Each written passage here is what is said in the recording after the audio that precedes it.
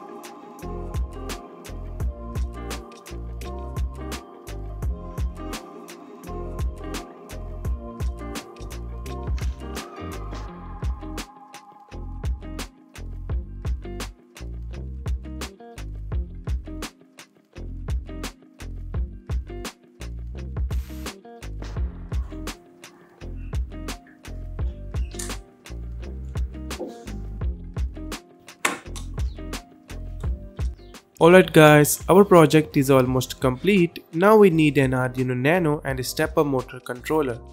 I wanna give it a more professional and cleaner look so I design a custom PCB board. After creating the Gerber file, I ordered the PCB boards from Next PCB for free. Next PCB is a professional PCB manufacturer.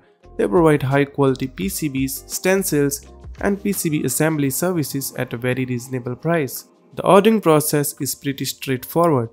Just click on the instant code, upload your file, change the settings as you like and order your professional PCBs absolutely free for the first time.